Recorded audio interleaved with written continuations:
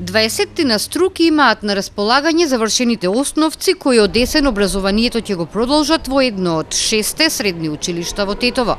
За нив се определени 3400 места, иако бројот на ученици во осмо одделение во регионов не надминува 2500. И годинава се нуди можност секој завршен основец да добие поголем избор за продолжување на образованието.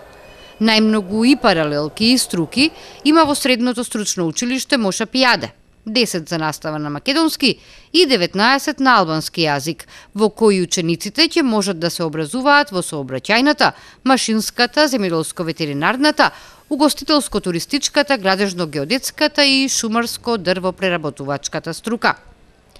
Во средното медицинско училиште Никола Штейн ќе можат да се запишат ученици во македонска и во албанска настава за медицински сестри, забни техничари, лаборанти, фармацевски и физиотерапевски техничари.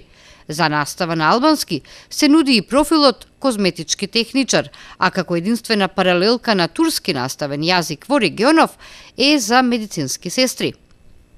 Во економското училиште 8 септември годинава за настава на македонски и албански јазик се нудат насоките економски и правен техничар, а во текстилното се текстилно-кожарската насока, како и хемиско-технолошката и уметничко образование само за настава на албански. Од општинските средни училишта во гимназијата Кирил Печиновиќ и следната учебна година се нудат 918 места, од кои 102 се за настава на македонски.